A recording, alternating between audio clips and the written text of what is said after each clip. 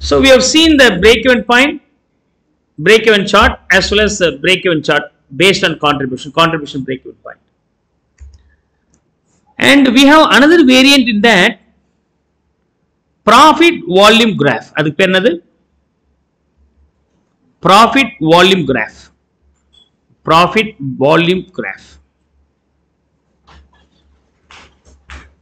Clear? Profit volume graph.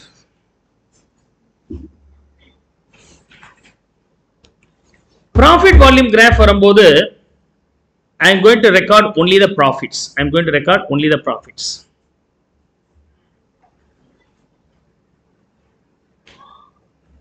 Okay. I am going to draft only the profits. Okay.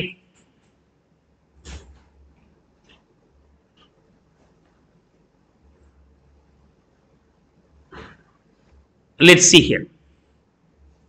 200 units, 400 units, 600 units, 800 units, 1000 units. X axisல units இருக்கு. Origin. Y axisல வரும்போது rupees. 4000 rupees, rupees in thousands பா. 3 zeros cut பண்ணி போட்டிருக்கிறேன். 8000 rupees, 12,000 rupees, 16,000 rupees, 20,000 rupees. Similarly, minus 4,000 rupees, minus 8,000 rupees, minus 12,000 rupees, minus 16,000 rupees. So, I am going to plot only the profit and loss here. எதை மட்டும் plot பண்ண போறேன் profit and loss மட்டும் plot பண்ண போறேன் clear 200 units இருக்கும்போது what is the situation 12,000 rupees is the loss. 400 இருக்கும்போது 4,000 rupees loss. 600 இருக்கும்போது 400 um, 4,000 rupees gain.